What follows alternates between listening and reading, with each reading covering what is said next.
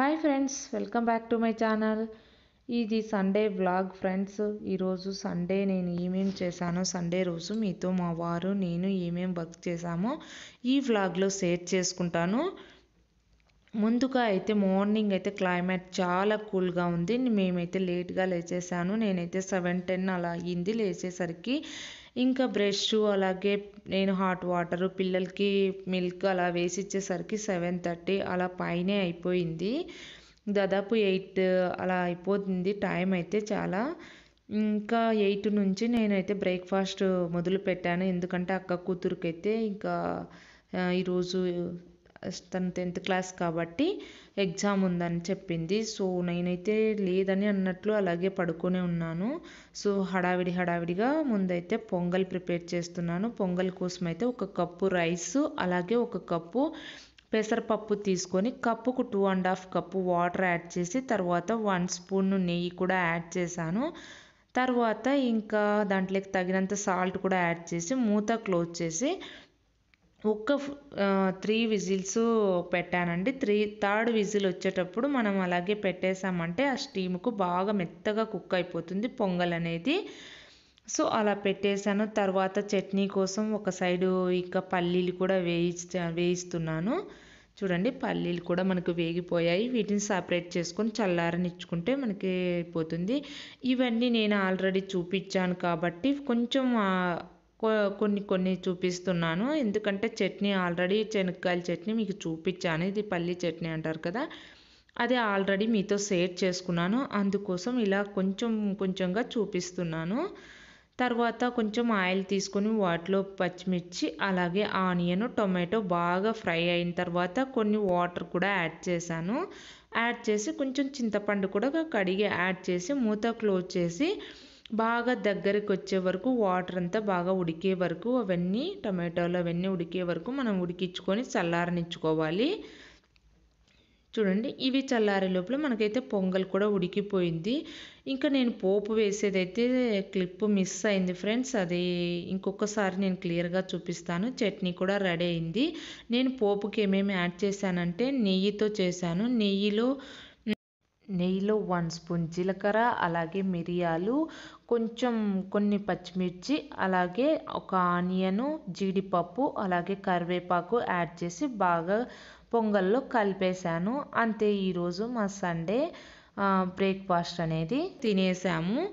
తిన్న తర్వాత ఇంకా మా హస్బెండ్ వర్క్ అయితే స్టార్ట్ చేశాడు. దాదాపు మావి సాల్ట్ వాటర్ కాబట్టి ఎక్వైరం అనేది వీక్లీ వీక్లీ క్లీన్ చేస్తే తప్ప అది అంతా పా పైనంతా అలా మరకలాగా ఏర్పడుతూ ఉంటుంది గ్లాస్కు. అందుకోసం వీక్లీ వన్స్ ఈ విధంగా క్లీన్ చేస్తూ ఉంటాడు. ముందైతే ఎక్వేరియం వర్క్ ఒకటే ఉండేది. ఇప్పుడు మ్యాక్సీ వర్క్ కూడా తనకు వచ్చేసింది సండే తనకు ఎక్స్ట్రా వర్క్ పడింది. అదంతా క్లీన్ చేస్తుంటే ఇది మ్యాక్సీ అనేది ఏంటో చిన్న పిల్లలాగా మన చిన్న పిల్లలు ఉంటారు కదా అలా అందరితో ఆడుకుంటూ కాళ్ళు గీరుకుంటూ అలా ఇల్లంతా అంతా షూ అన్నీ లాగేసి చిందరవందరగా చేసేస్తూ ఉంటుంది కటాంచడం మొత్తము. చూడండి దాదాపు టెన్ అవుతున్నా కూడా క్లైమేట్ అయితే ఈ విధంగా ఉంది చూడండి. వర్షం అలా పూర్తిగా పడదు. కొంచెం కొంచెం వర్షం పడుతూ ఈ విధంగా మన మనకైతే చాలా విసుగ్గా ఉంది. అసలు బయటికి అడుగు పెట్టాలంటేనే విసుగ్గా అనిపిస్తూ ఉంది. అంత ఘోరంగా ఉంది క్లైమేట్ అనేది. పిల్లలకు కూడా హెల్త్ అనేది సరిగా ఉండదు. ఈ విధంగా ఉంటే పిల్లలు కూడా యాక్టివ్గా ఉండరు కదా. సో చాలా ఇదిగా ఉంది. ఇంకా మ్యాక్స్ అయితే ఏదో తను క్లీన్ చేస్తుంటే అది చూస్తూ ఉంది. ఏదో తనకి ఇవ్వలేనట్టు అలా చూస్తుంది. నెక్స్ట్ అయితే ఇంకా నేను అక్వేరియం టేబుల్ మీద వీక్లీ వన్స్ ఈ విధంగా క్లాత్ అంతా వేస్తూ ఉంటాను. ఎందుకంటే వాటిపైన వాటర్ పడుతూ ఉంటాయి. అలాగే క్లీన్ చేసినప్పుడు అంతా గలీజ్ అవుతూ ఉంటుంది కదా. అలా వీక్లీ వన్స్ నేను ఈ విధంగా క్లాత్ టేబుల్స్ వేస్తూ ఉంటాను. ఇది అనేది క్లాత్ టేబుల్ ఏం కాదు. కట్ డోర్ కట్ అని ఉంటాయి కదా ఓల్డ్వి. అవి వేస్తున్నాను. ఎందుకు పడేయడం అన్నట్టు నేను టేబుల్ క్లాత్గా వీటిని మార్చేశాను. ఈ విధంగా మొత్తం ఈ విధంగా పర్చేసాను తర్వాత ఇంకా ఎక్వైరియం కూడా మా హస్బెండ్ క్లీన్ చేసేసి దాన్ని ఆరబెట్టేశాడు. ఆరిన తర్వాత ఇవి శాండ్వి ఇద్దరు స్టోన్స్ అన్నీ వేస్తున్నారు. కలర్ కలర్ స్టోన్స్ అన్నీ శాండ్వి అద్ద ప అది ఎక్వైరియం పగిలిపోతుందని నేను చెప్తున్నా కూడా తను మాత్రం ఫాస్ట్ ఫాస్ట్గా విసిరేస్తూ ఉంది. ఏం పగలదులే అని చెప్తుంది. ఇక్కడ మ్యాక్సీని కూడా తను తిడుతూ ఉంది. ఏదో మ్యాక్సీ తన చెప్పులు అలా లాగుతూ ఉంది. అందుకోసం తనవన్నీ లాగుతోందని మ్యాక్సీని కొడతా అని ఆ విధంగా దాన్ని తిడుతూ ఈ విధంగా స్టోన్స్ అన్ని దాంట్లోకి వేస్తూ ఉంది. ఇంకా వాటర్ అనేది ఫుల్ వేయకూడదు. ఎందుకంటే ఎక్వేరియంలో ఫిష్ అనేది పైకి ఎగురుతాయి. మాకి పైన క్యాప్ లేదు ఎక్వేరియంకు అందుకోసం ఈ విధంగా అది ఎగురుతాయి కాబట్టి వాటికి తగినన్ని వాటర్ యాడ్ చేసి ఈ విధంగా వేసేసారు క్లీన్ చేసిన తర్వాత ఎంత ప్రశాంతంగా ఫిష్ ఆడుకుంటాయంటే అంత ప్రశాంతంగా ఉంటాయి. ఇవి వైట్ స్పాట్స్ అనేటివి రాకుండా ఫిష్కి అనేది ఈ మెడిసిన్ అనేది యాడ్ చేస్తున్నాడు. ఇది బ్లూ లాగా మనకి వాటర్ అంతా ఇది కూడా డిసీజ్ అనేది రాకుండా ఫిష్కే. కాకపోతే ఈ బ్లూ బ్లూ కలర్ అనేది యాడ్ చేయడం వల్ల వాటర్ కూడా నీట్గా మనకు చాలా నీట్గా అనిపిస్తాయి చాలా ఇదిగా. చూడండి ఇదంతా. ఎంత నీట్గా ఎక్వైరియం ఎంత క్లీన్ చేసిన టూ డేస్ మాత్రం చాలా బాగుంటుంది. ఇంకా నెట్తో అయితే ఫిష్ ఒక్కొక్కటి ఒక్కొక్కటి ఈ విధంగా వాటిలోకి వేస్తున్నారు. వాటికి క్లీన్ చేసినప్పుడు ఎంత ప్రశాంతంగా ఆడుకుంటాయంటే అంత యాక్టివ్గా ఉంటాయి ఫిష్ అయితే. మా హస్బెండ్కి ఇదొక పిచ్చి ఏవైనా పెంచుకోవడం కానీ ఏదైనా చేయడం కానీ ఈ విధంగా జంతువులను కానీ ఈ విధంగా ఎక్వైరియం అని ఏదో ఇంకా ర్యాబిట్ కూడా తేవాలంటున్నాడు. నేనైతే ఇంకా వద్దంటున్నాను. చాలా ఎక్కువ వర్క్ అయిపోతుంది. అందుకోసం తను ర్యాబిట్ తీసుకొస్తా అన్నా కూడా నేనైతే వద్దని చెప్పాను. అందుకే స్టాప్ అయిపోయారు. అన్నీ చూసుకోవాలంటే అన్నీ ఇబ్బంది అవుతుంది. అందుకోసమే ఇంకా ఫిష్ చూడండి. ఎక్వేరియం అయితే ఫైనల్గా ఇలా వచ్చేసింది. నెక్స్ట్ అయితే మా హస్బెండ్ చికెన్ తీసుకొచ్చారు. ఇంకా నేను ఆ చికెన్ వర్క్ స్టార్ట్ చేస్తున్నాను. దాదాపు లెవెన్ లెవెన్ ఫిఫ్టీన్ అలా టైం అయిపోయింది. మసాలా కోసం ముందైతే కొన్ని చెక్క లవంగాలు అలాగే ఇంకా మిరియాలు కూడా యాడ్ చేశాను. ఇంకా ఎండు కొబ్బరి కూడా కట్ చేస్తున్నాను. ఇది అమ్మ స్టైలు అమ్మ స్టైల్లో చేస్తున్నాను. ఎందుకంటే ఇది నాటుకోడి. నాటుకోడి అనేది మనకు చాలా ఈ ఈ క్లైమేట్కు నాటుకోడి అయితే మనకి కొంచెం కోల్డ్ అనేది తగ్గుతుంది కదా. ఆ ఘాటుకు కొంచెం స్పైసీగా ఈ విధంగా చేయడానికి చేస్తున్నాను. ఇంకా కొబ్బరి అనేది ఒక్క గిన్నె తీసుకున్నాను. ఎందుకంటే నాకు రైస్కు ఇదే మసాలానే యాడ్ చేసి రోజు మసాలా రైస్ అలాగే చికెన్ పులుసు పెడుతున్నాను. చూడండి కొబ్బరి అయితే తురిమేశాను. ఈ కత్తిపీట అనేది అత్త తీసుకొచ్చి ఇచ్చింది నాకు. కత్తిపీట అనేది మా మేనత్త అనేది అక్కడ నుంచి తెచ్చుకున్నాను. చాలా షార్ప్గా ఉంటుంది. వీటితోనే నేను చికెన్ కట్ చేస్తాను. అలాగే ఇలా ఎప్పుడైనా బోర్ కొట్టినప్పుడు ఇలా కూర్చొని నీట్గా కట్ చేసుకుంటాను.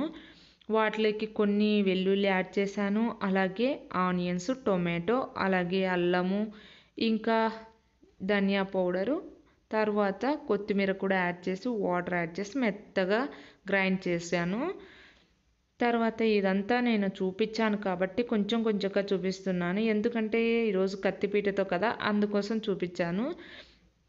ఇంకా ఇది నాటుకోడి విలేజ్ నుంచి తీసుకొచ్చారు మా హస్బెండ్. ఆ విలేజ్ నుంచి దాదాపు చాలా డిఫరెన్స్ ఉంది. ఇక్కడ ఫోర్ ఎయిటీ చికెన్ అయితే టౌన్లో అక్కడ టూ ఎయిటీ అంటే కోడి కోడి టూ ఎయిటీ. ఇంకా మనం కట్ చేసుకో కట్ చేపిస్తే ఒక ఫిఫ్టీ రూపీస్ మనకి ఎక్స్ట్రా పడుతుంది. అందుకోసం అక్కడే తీసుకొచ్చారు. ఎందుకంటే ఫ్రెష్గా ఉంటుంది కదా. ఇక్కడ అంతా మనకు కల్తీ అలా ఉంటుంది కదా. అందుకోసం విలేజ్ నుంచి అయితే మనకు బాగా టేస్ట్ ఉంటుంది. అలాగే ఫ్రెష్గా కూడా ఉంటుంది చికెన్ అనేది. అందుకోసం అక్కడ తీసుకొచ్చారు. అత్తకైతే కోల్డ్ బాగా చేసింది. అందుకోసం ఈ కొంచెం ఘాటుగా నాటుకోడి పులుసు అనేది తీసుకుంటే బాగా తగ్గిపోతుంది. అందుకోసం తీసుకొచ్చారు. చాలా రోజులైంది నాటుకోడి అనేది తినేసి పూరి చేద్దాం అనుకున్నాను. కాకపోతే ఇంకా కోల్డ్ కాఫ్ ఉంది కదా ఈ క్లైమేట్కు ఇంకా ఆయిల్ ఫుడ్ అనేది తీసుకుంటే అది ఇంకా మనకి ఎఫెక్ట్ కాబట్టి నేను ఈరోజు ఓన్లీ పులుసు పెట్టేసి మసాలా రైస్ చేద్దామని డిసైడ్ అయ్యాను. ఇంకా పూరి కాంబినేషన్ లేకుంటే జొన్న రొట్టె కాంబినేషన్ ఎలా అయితే చాలా బాగుంటుంది. నాటుకోడి అనేది చూడండి కత్తితో ఎంత నీట్గా మనకు ఫాస్ట్ ఫాస్ట్గా తెగుతుందంటే నాకు చాలా ఈజీ మటన్ అలా కట్ చేసుకునేది నేను వీటితోనే కట్ చేసుకుంటాను. కత్తిపీటతోనే నాకు కత్తితో అనేది కట్ చేసేది రాదు. సో అలా అంతా చిన్న చిన్న పీసెస్ అయితే మనకు మసాలా బాగా పడుతుందని నేను ఎప్పుడు ఇలా కట్ చేసే యాడ్ చేస్తాను. తర్వాత కుక్కర్లో కొంచెం ఆయిల్ యాడ్ చేశాను. తర్వాత చికెన్ నీట్గా క్లీన్ చేసేసి వాటిలో కొంచెం ఉప్పు పసుపు యాడ్ చేసి బాగా కలుపుకొని ఒక ఫైవ్ మినిట్స్ మూత క్లోజ్ చేసి ఉడికించుకున్నామంటే మనకు పసుపు ఉప్పులో బాగా ఉడికేస్తాయి ముక్కలు అనేది. ఈ విధంగా పసుపు ఉప్పులో ఒక ఫైవ్ మినిట్స్ ఈ విధంగా పెట్టేసామంటే టేస్ట్ చాలా బాగుంటుంది. అందుకోసం నేను ఈ విధంగా చేస్తుంటాను నేను పోపు దినుసులు ఇవన్నీ ఎటువంటివి యాడ్ చేయను. ఇది అమ్మ స్టైల్ కాబట్టి అమ్మ ఇలాగే చేస్తుంది. ఇలాగే నేను కూడా ప్రిపేర్ చేస్తాను. చాలా బాగుంటుంది. చూడండి ఒక ఫైవ్ మినిట్స్ తర్వాత ఈ విధంగా పసుపు ముక్కలు బాగుంటాయి. నెక్స్ట్ అయితే ఇంకా వీటిలోకి నేను ముందుగా గ్రైండ్ చేసిన మసాలాను యాడ్ చేశాను. తర్వాత టూ స్పూన్స్ కారము యాడ్ చేశాను. ఇది విధంగా కారం అనేది చూసుకొని యాడ్ చేసుకోండి. కొంచెం ఘాటుగా ఉంటే మనకు నాటుకోడి అనేది చాలా బాగుంటుంది. చూడండి. ఈ విధంగా బాగా కలిపిన తర్వాత ఒక ఫైవ్ మినిట్స్లో ఫ్లేమ్లో పెట్టుకొని బాగా ఉడికించుకోండి. అది ఉడికే లోపల నేను మసాలా రైస్ కోసం నేను ముందుగా ఆయిల్ తీసుకున్నాను వాటిలో జీలకర్ర అలాగే ఇది సాజీరా అలాగే వే కొన్ని పచ్చిమిర్చి ఆలుకలు బిర్యానీ ఆకు కూడా యాడ్ చేశాను. ఇంకా చెక్క లవంగం అనేది నేను మసాలాలోనే యాడ్ చేశాను కాబట్టి యాడ్ చేయలేదు. లో ఫ్లేమ్లో పెట్టుకొని ఈ విధంగా కలుపుతూ కరివేపాకు కూడా యాడ్ చేసి ఇంకా రైస్ కుక్కర్లో చేస్తున్నాను కాబట్టి రైస్ కుక్కర్లో యాడ్ చేశాను. వాటర్ కూడా నేను మెజర్మెంట్ ఈ విధంగానే తీసుకుంటాను. మన ఫింగ్ మన వేళ్ళు ఉంటాయి కదా వాటికి ఇక్కడ లైన్స్ ఉన్నాయి కదా ఆర్ట్ వరకు తీసుకుంటాను. నేను ఎటువంటివి ఏం కొలత అనేది వేయను. ఈ విధంగా రోజు చేసే రైస్ కూడా నేను ఆ విధంగా ఫింగర్స్ దగ్గర వరకు పెట్టుకుంటాను. తర్వాత సాల్ట్ కూడా యాడ్ చేసేసి బాగా కలిపేసి ఇంకా రైస్ రైస్ అనేది పెట్టేశాను. ఇక్కడ చికెన్ కూడా మనకు బాగా ముక్కలకంతా మసాలా పట్టేసింది. మనం డైరెక్ట్ వాటర్ అనేది యాడ్ చేసామంటే వాటర్లోకి వెళ్ళిపోతుంది తప్ప ముక్కలేకి మనకు ఆ మసాలా అనేది వెళ్ళదు. వాటర్ యాడ్ చేసి ఇప్పుడు వాటర్ అన్ని యాడ్ చేసిన తర్వాత ఒక ఫోర్ విజిల్స్ పెట్టేశాను. విజిల్స్ పెట్టేసి తర్వాత స్టీమ్ అంతా పోయిన తర్వాత తీసేసాను చూడండి మనకు పులుసు ఎక్కువ ఉండాలని ఈరోజు అన్నారు కాబట్టి కొంచెం పులుసుగా చేసేసాను పులుసు కూడా బాగా తిక్కుగానే ఉంది. ఏం మనకి ఎక్కువ అనేది అనిపించలేదు. చికెన్ అయితే రెడీ అయిపోయింది. ఇంకా మసాలా రైస్ కూడా చూపిస్తాను పదండి. మసాలా రైస్ కూడా రైస్ కుక్కర్లో చాలా కలర్ఫుల్గా వచ్చేసింది. పొడి పొడిగా ఉందో రైస్ నేను ఫింగర్స్తో పెట్టినప్పటికి కూడా చాలా పొడి పొడిగా వచ్చేసింది కదా. అంతే మా సండే ఈరోజు నాటుకోడి పులుసు సింపుల్గా మసాలా రైస్ పెరుగు పచ్చడి అంతే. ఇంకా మా హస్బెండ్ కూడా ఇంకా పిల్లలకు నెయిల్స్ తీయడము అలాగే ఇయర్ బడ్స్తో ఇయర్స్ ఇయర్స్ క్లీన్ చేయడము ఇంకా మ్యాక్సిక్ స్నానము ఇవన్నీ కంప్లీట్ అయిపోయాయి. నా వంట కంప్లీట్ అయిపోయేసరికి ఇంకా మేము లంచ్ చేసేస్తాం ఫ్రెండ్స్. ఇంతే ఈ వ్లాగ్ ఇంతటితో ఎండ్ చేస్తున్నాను. నచ్చితే లైక్ చేయండి షేర్ చేయండి అలాగే కామెంట్ చేయండి.